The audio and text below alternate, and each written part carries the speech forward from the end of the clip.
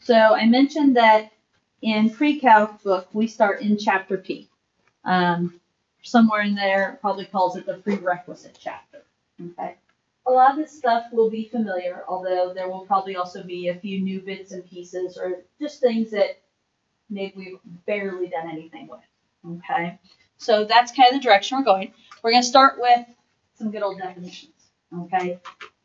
This first set, you know all these vocabulary words, but do you remember them? That's where I'm guessing the, you know, slight catch is going to be. So just various types of number systems. Real numbers. Thoughts? Uh, just anything, Yeah, all numbers. anything. They're positive. No. no, no. Just anything. Anything. Anything. Anything except what?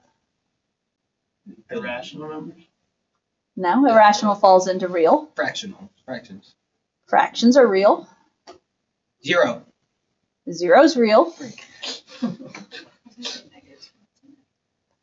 They're real. There's no exception. This is a trick question. So in Algebra 2, prior to Algebra 2, everything was a real number in your life.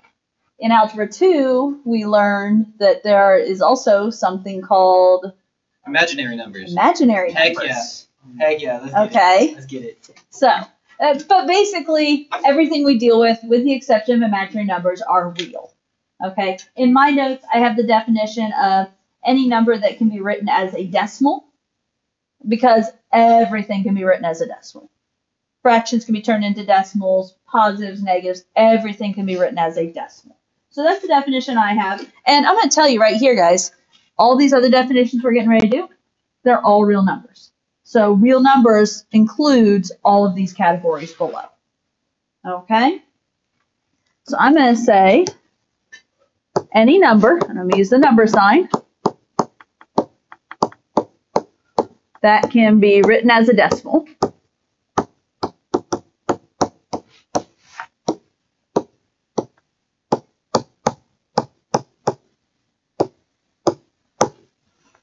Okay, that's going to be my basic definition.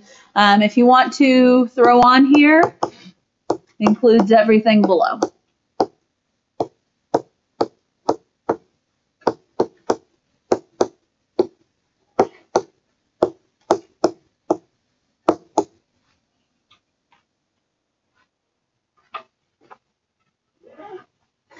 You guys are familiar with the number sign that I used, right?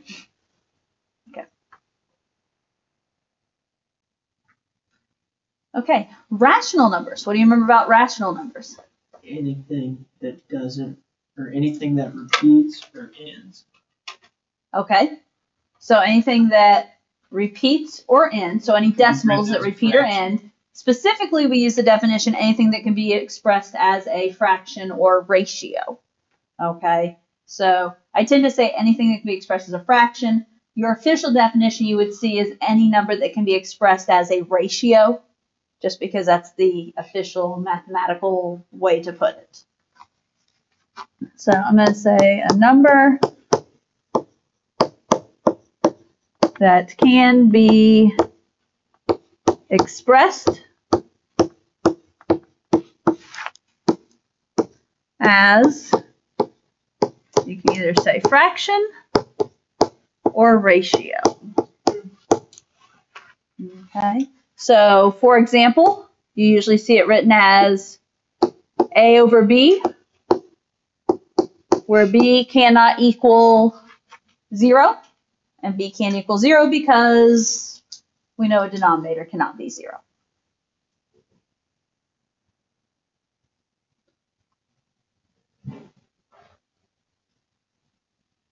Okay. Integers. What do you remember about integers?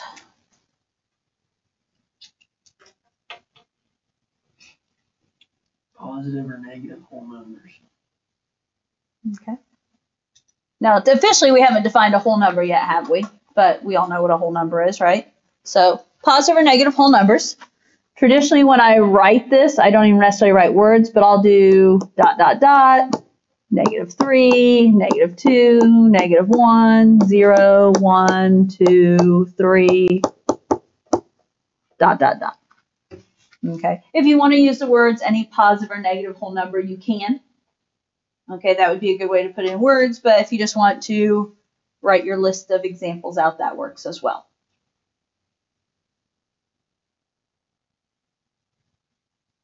Okay, so those are your integers. What about natural numbers? They're real numbers. More specific than just real numbers. Is this the one that is like everything except zero? All positives All except zero. positive except zero? Be a little more specific than everything except zero or all positives except All zero. All numbers side zero. Okay. So, how did you count in kindergarten? One, two, three, four, five. We start at one, and you went with whole numbers. Yes. So these uh, there these are also sometimes called your counting numbers, but basically, yeah, one, two, three, four, five, six, seven, eight, so on and so forth. So I am going to write down counting because if you're ever asked about counting numbers, that is another word name for natural numbers. But yeah, starting at one, two, three, four, five, however far you want to list. Okay. So natural numbers, just think your kindergarten numbers, preschool numbers. Okay, what about whole numbers then? What does whole numbers add in? Zero. Zero. Okay, so whole numbers, you know, whole numbers, no decimal pieces, no fractional pieces, just whole numbers, but they do include zero. And whole numbers are only positive. So zero, one, two, three, four, five, so on and so forth. You just put like positive integers. Uh, positive integers plus zero. I mean, I would say- Zero is positive. I would say zero is neither negative nor positive personally, but as long as you know zero is included.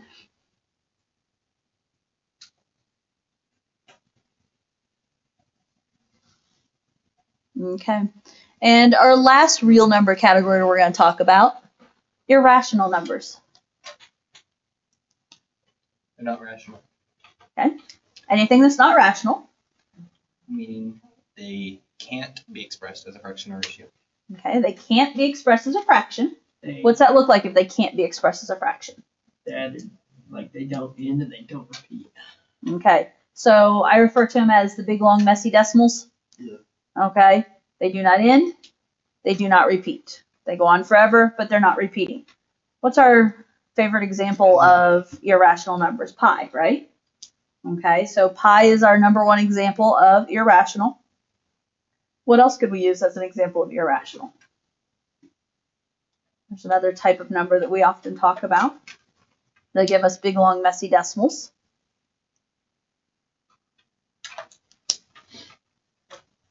Think in terms of square roots.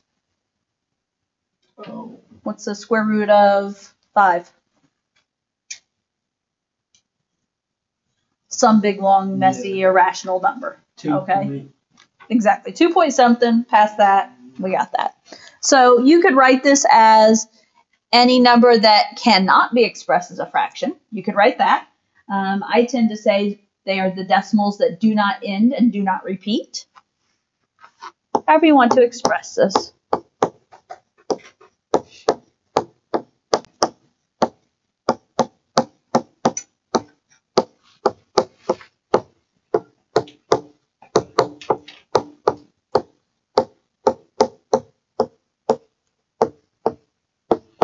You want to put some examples down here. Pi. Square root of 5 is what I said. Any square root is going to be irrational that's not a perfect square. Okay, so square roots are either perfect squares where you can take it and get a whole number, um, or you, you know you can take the square root, or they are irrational.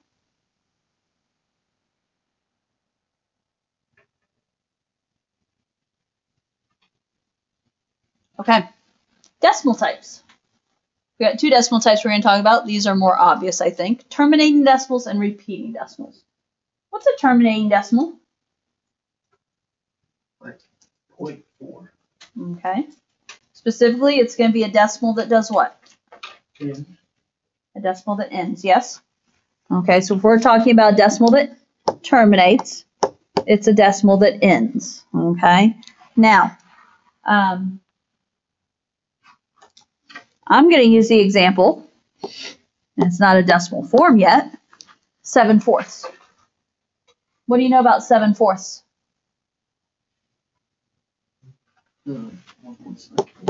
Fourths. It's one and three fourths, which is one point seven five.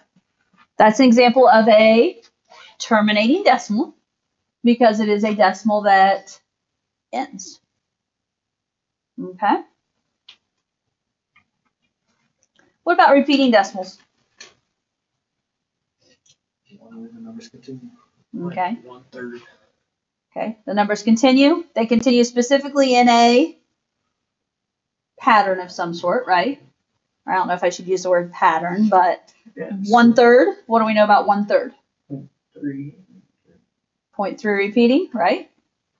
Okay, so your denominators of threes are always repeating.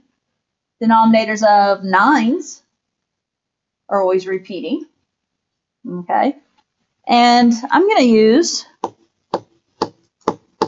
four elevens. Denominators of elevens are repeating.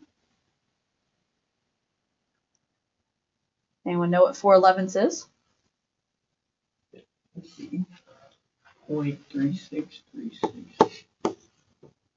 Did you just know that? Okay.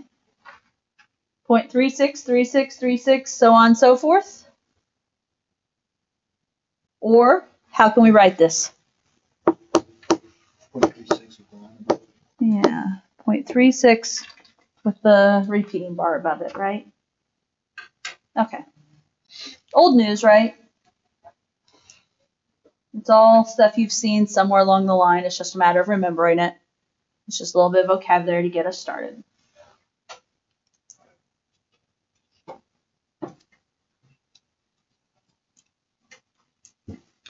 Okay.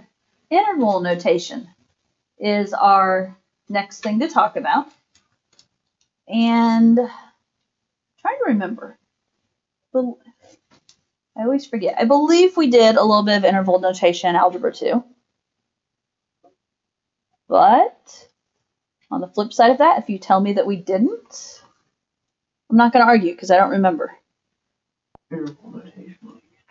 So, okay, when we are doing graphing inequalities, and I'm just talking about graphing on a number line, okay, when we are graphing inequalities, so for example, I'm going to use the number line, it's just a number line with A and B at the end.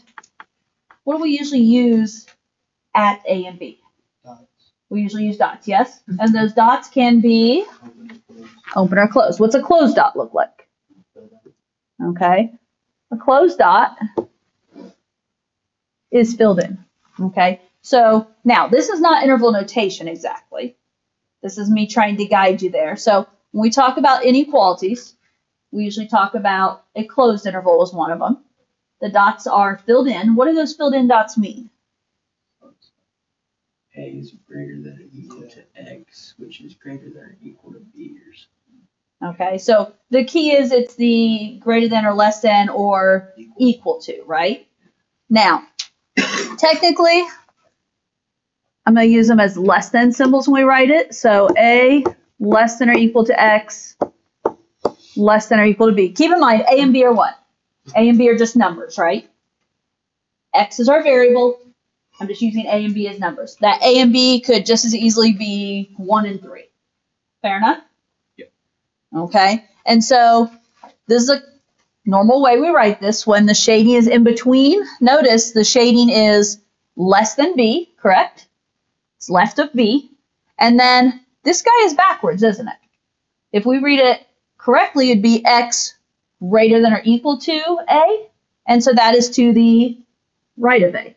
So remember when we put them together, we put the variable in the middle and we use two less than symbols. Okay? The equal to means that the dots are filled in. Now, I'm going to come back to this here in a moment, but what's the difference with an open interval? Okay, it's not equal to, and the circles are open, circles, not filled in, right? You've been doing this stuff since middle school. So the difference here is when we write this A, X, and B, instead of using less than or equal to, we're going to say less than. And this will make more sense once we throw numbers and actual problems in and stuff. Okay? Now, where I always struggle to remember, in Algebra 2, did we talk about instead of using the dots on the end, using parentheses and brackets? No. Like you're saying, like a bracket can be like less than or equal to, and like a parentheses, like No. we didn't do it like that. No. Okay. We were talking I keep you thinking that we did this in Algebra 2 somewhere. we did and I'll have the parabolas, like the. Okay, that's where, okay, so when we did domain and range. Yeah. Mm-hmm. Okay, okay, this is, okay, there's the connection I need. So we have talked about this a little bit in terms of when we did domain and range. So, okay, so on number line, instead of using the dots, we could use brackets. And when we did this in domain and range, instead of saying A less than or equal to X less than or equal to B, if this shading is between A and B, we did bracket A, comma, B, bracket. And that's, if you recall, saying the shading goes from A to B, and the brackets are like your closed circles, so the brackets are saying that the point is included. This sounds a little familiar, right? Yeah. And again, I think it'll make more sense once we put problems and numbers in there. Okay? Yeah, because we did that with the infinities, right? Because zero was always, or infinity was always Yeah. parentheses. Yeah. Yep, that's okay. So we did do it. That's that's the connect my brain needed to make. Okay. So a closed interval uses brackets. An open interval in place uses Parentheses. parentheses. So if you have an interval from A to B and those endpoints are not included, we use parentheses. So it'd be parenthesis A to B parenthesis. Okay, and I think it's on the back side that we do a few examples. And as I said, things will start to make more sense, but. Okay, so interval notation is using the parentheses and the brackets. We, in pre-calc, I try and keep us all in interval notation. And that is learning that notation as a, you know, leading to calculus. I know not everyone takes calculus, but it's still a leading into calculus thing and just good math notation there. Okay, um, in my example, what were my endpoints? Yeah, I use my endpoints as A and B. Those are just, I don't know how else to describe it. They are the endpoints, right? Okay. Um, bounded intervals versus unbounded intervals. Both of these are bounded intervals. They're bounded because what do they have on each end? They stop an endpoint. They have an endpoints on each end and they stop. Okay, so they are bounded intervals. They don't go on forever. They have a bounds. As opposed to an unbounded interval, that's going to be an interval that goes on at least in one direction, or both directions maybe, but at least in one direction forever. So when we talk about the bounded interval, that falls any, I'm just going to say any closed or open interval like what we saw above. Those are your bounded ones.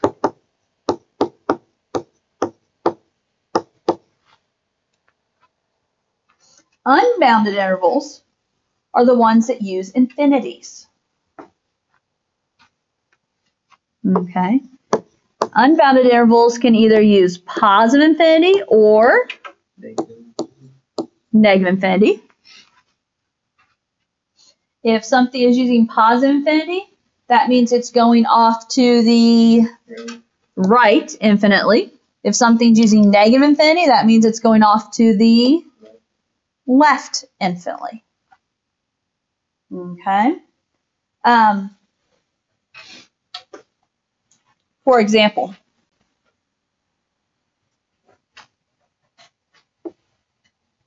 how do I want to do this?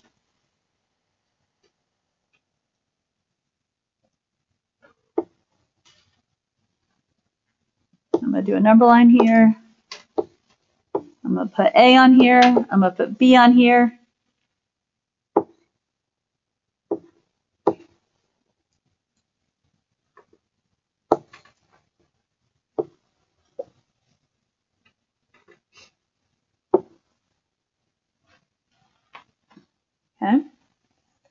Remember how to write interval notation here? So first of all, what I did, pause that. I have a number line here. There's A and B on it. We're shaded to the left of A. We're shaded to the right of B. I have a parenthesis at A and a bracket at B. Did everyone catch that? My handwriting wasn't the best, but or my picture drawing. Okay, so where does my shading start? Left to right. It starts at the far left. What do we use as the far left? Negative. infinity. Negative infinity. I used to always say Mr. Stanley's room, yes? Now it's Mr. Arnold's room. Okay, so this starts at Negative. infinity. It was mentioned earlier that negative infinities always use parenthesis, comma. Where does that shading go to? It goes to point A. That could just easily be a number. And what goes beside A? A parenthesis, because it's not included. Now, we can use the word or in between these.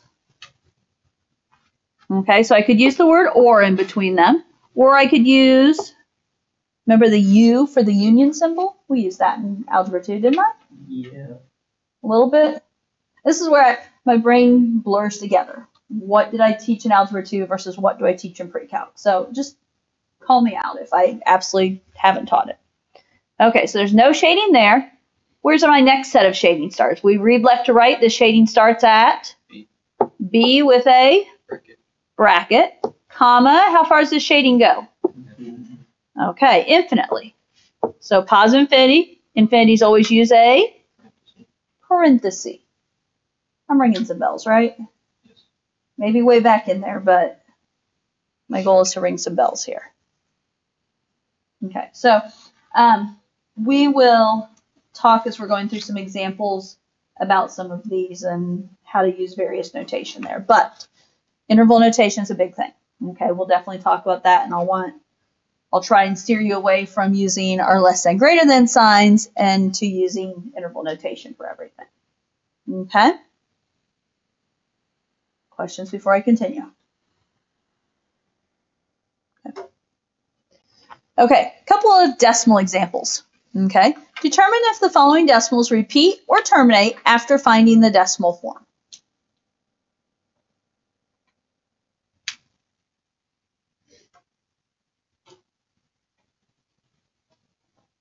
Thoughts on 116th? What are you doing? What do you know? Okay, so we know in order to take a fraction to a decimal, we're dividing, yes. 1 divided by 16. Terminating. Zero point zero six two five. Okay, so when your calculator does 1 divided by 16, 0.0625, then we could divide that by hand if we really wanted to, couldn't we? Okay, we could. And so that is an example of a decimal that terminates. There is no question about that one. It clearly ends.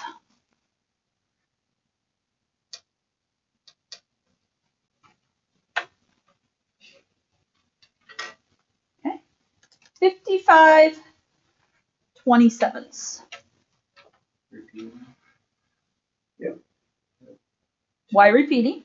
It's oh point two point oh three seven oh three seven oh three seven. Okay, fair enough. And that's what your cal- calculator telling us this, right? So if you don't have a calculator at your desk, you can always technically grab one of those up there, but it's just dividing also, isn't it? So 2.037, 037, 037, Repeat. It appears to repeat like that. And so we're going to put a repeating bar over all three. And this is an example of a decimal that repeats.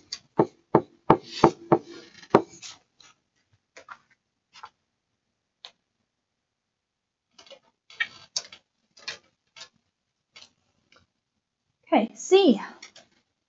1 17th does say repeats? Because it's very long and we don't know if it continues after the screen cuts off. I second that motion. So we're just guessing at this point? Yeah. I mean, technically it ends on the screen and it doesn't repeat, so you could say it terminates, but Okay. So, technically pi ends on the screen too, so. yeah, you guys have been around calculators long enough and you know what I say. Okay? If it is, you become used to your calculator. If it is a decimal that totally fills your calculator screen, does it necessarily end there? No. I'm going to assume it probably does not end there. Okay? Now, what decimal are we giving? Zero point zero five eight eight two three five two nine. Okay? Yeah, I got two nine four. I would say Logan's probably ends on a four there. Okay, difference in calculators. Okay. Um, did you guys hear repeating there? No. No. But again, what to do after that screen? And keep in mind, what were my choices here? Repeating or terminate. Repeat or terminate? Is there an option for just a big long messy decimal that goes on and on? No. No. Now, okay, so truth be told, it does repeat. How do we prove it repeats? What? Didn't he say repeats earlier? Or, oh, never mind. I thought you were saying like it repeat, like a pattern. That's what I thought you meant when you said truth, then it does repeat. Never mind. It is going to repeat. Never mind. How do we prove it repeats? Because it doesn't end. But do you see any repeating in what we have on the screen? yeah, I- So, okay, let me write down for those of you not looking at calc calculator. 0.588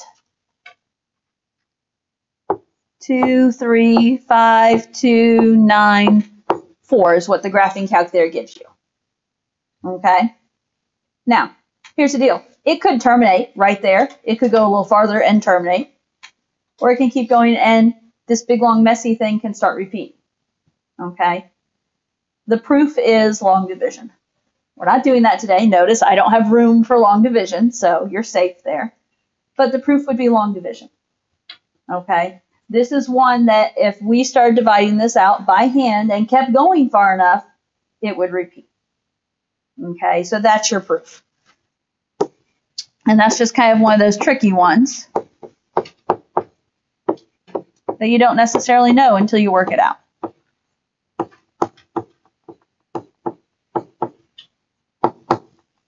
Okay. So I guess part of what I'm saying is there, just, you know, be aware. Looks can be deceiving.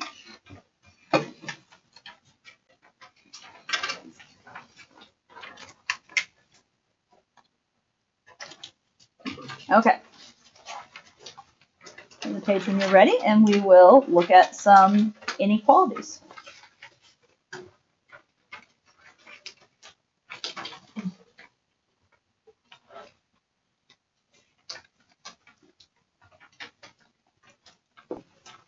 Okay.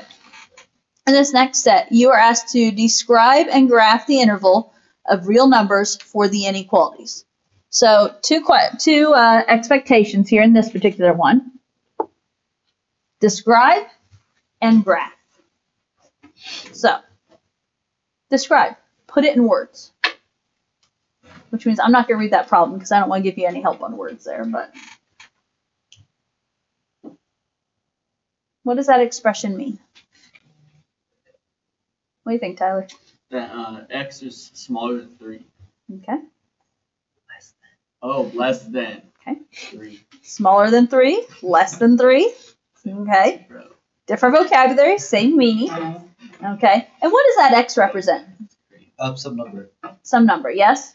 Okay, so how I have this written is that this expression x less than 3 represents all real numbers less than 3. Okay, so I have this written as real numbers less than 3. Now, we're also asked to graph this. So, let's put a number line on here. Okay, it's been a minute. How do we graph this? What kind of numbers do I need on my number line? Integers. Okay, integers, for example, Right, like two, three, four. okay. two, three, four. I tend to do the number in question, which is three. I tend to do two numbers on either side is what I tend to do, but several numbers, yes. I'm gonna tell you right now, am I gonna be okay with just the three on this number line? Yes. No. What? I'm not okay with just the three on this number line. I wanna know some numbers around it, because if nothing else, I wanna know that you know how to order your numbers. I know it sounds silly, but some of you will make mistakes when it comes to negatives. So how about like three numbers? Like one on each side. I mean, I could handle if you do something like two, three, four. I can handle that. Okay, but um, now graphing this. How do I graph this? It would be, go for it. You put a circle on three that's not colored in. Then you draw an arrow. You always go the way that it's pointing, so you go that way. Okay. Now I go the way it's pointing as long as the variable comes first. Yeah. Okay, as long as the variable comes first. This is less than. That is going to shade left. Now I'm not going to use a circle though. Oh, she's gonna be special in these plans. Wow. Wow. Really? Okay. You have to go home with her tonight. Now, so not circles. We're using the parentheses and brackets. Yes. Yeah, we use a circle. Okay, because you're in pre-calc and we're trying to learn interval notation. That's why you can't use the circle. Okay, so with that in mind, it's a parenthesis as opposed to a bracket because it is Open. open, Not not equal to. And so, and that parenthesis opens with the shading. So since my shading is to the left, the parenthesis is opening to the left. Does that work for you guys? Sounds good to me. Okay. So B. Words first. What are the words with that negative one, that X, and that four? How can we put this in words? One is less than x and x is less than four or equal to four. Okay. Summarize that. What's that look like? What's that?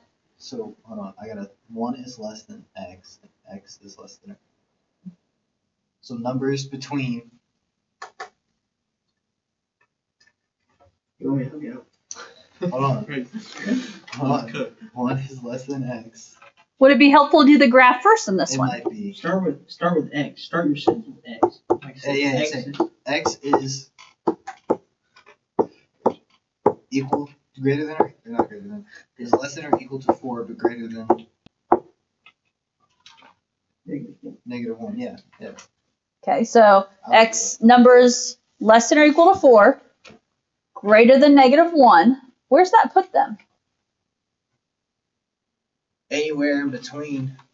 Between. Negative one and four. Z. Yeah. Yeah, it Does it end up being between is the word I was kind of looking for there. Does it end up being numbers between negative one and four? Because look, here we have x less than or equal to four. So that's going to be numbers to the left of four, or as Logan was saying, less than four, yes? This one, if you reverse it, that is what? The same as saying x greater than negative one. And so that is numbers to the right of negative one. So when we have an expression like this, this is all real numbers between negative 1 and 4. Now, we're going to have to address which endpoints we're including or excluding. But I'm going to say real numbers between negative 1 and 4. What are we doing with negative 1? Are we including or excluding negative 1? Excluding. Negative 1 does not have an equal, so I'm going to say excluding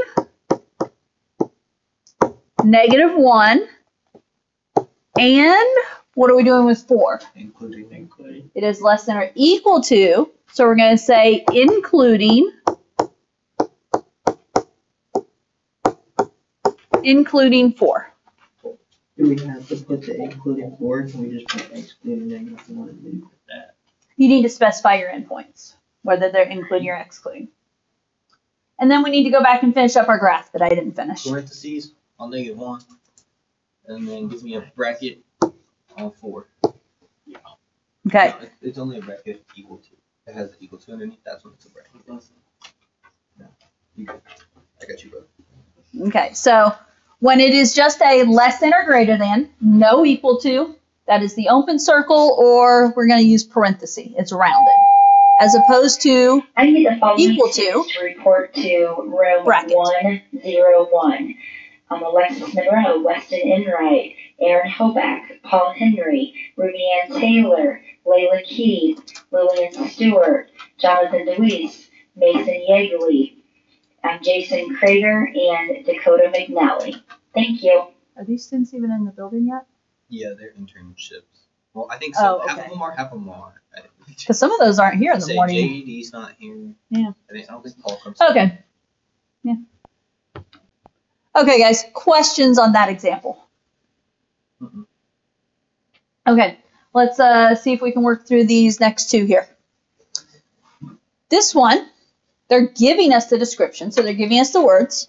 They're asking us to write an interval of real numbers using an inequality and draw the graph of the following. Okay, so we're being asked to graph this, and we're being asked to write it as an inequality. So, A, the real numbers between negative 4 and negative 5 tenths. Negative four. Less than. X. Less than. Or no, sorry, as a, No, Yeah, I had that right. you're- you're- less than zero point five. I don't know about the equals or not. No, yeah. I mean, Yeah, yeah, so yeah, Because it doesn't have Yeah. like the including or excluding. so yeah. So Okay. Negative four, less than X, less than negative. Okay, so I was going to start a graph here if you need help with the visual. Negative 5, negative 4, negative 3, negative 2, negative 1. I'm really kind of lopsided. I did that a bit weird because that is a negative 0.5, isn't it? Okay, so real numbers between. Between means just that. So if we're looking on the graph, it is numbers that are between negative 4 and negative 5 tenths, yes? Okay, learn now. That's kind of like writing example B here, isn't it? If you go back to example B from above, that's the same idea where the X is in the middle. So we're looking at, if I put X in the middle, this is numbers that are less than negative 5 tenths, right? Because it's less than this point right here. And what is it? It's greater than negative 4. But if x is in the middle and negative 4 is on the left, that ends up being a less than symbol, correct? Now, it didn't specify anything about the endpoints. It just says the numbers between. So what would that indicate to you? Those endpoints are not included. If they're not included, what am I going to use on the graph? Okay, it's like open circles or parentheses. For the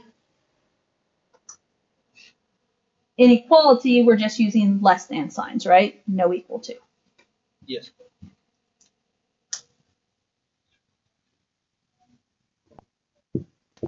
Okay, B, X. the real numbers greater than or equal to zero. X is greater than or equal to zero. Okay. Yeah. So real numbers we're using x, right? So x greater than or equal to zero.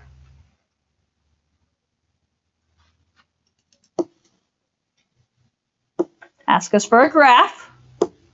So I'm going to put zero on my graph. I'm going to put some numbers around it.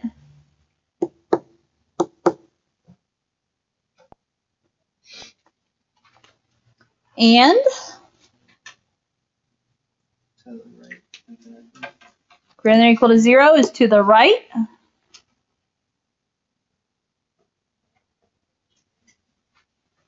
What are we putting at zero? Bracket, bracket. This is greater than or equal to, we're going to put a bracket. Okay. In my ideal world and brain, we would do these next three, but it's 11:01, which means the bell's probably gonna ring on me if I in the middle of those.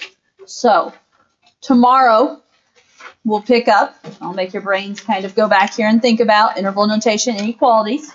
Um, we'll talk about some properties, and then there is another page in this one with scientific notation and um, just some exponent properties. So we'll talk about that tomorrow. So this homework, you're welcome to start on some of it if you want. Okay. However, it will not be due till Thursday. So tomorrow we will come in, we'll finish notes, and you'll have some work time. Okay? So how would one start on this homework without a book? Well, I kind of thought you'd have iPads by now.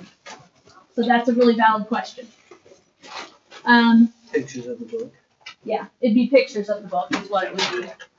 Except you don't have an iPad to take the pictures, so then it's the phone.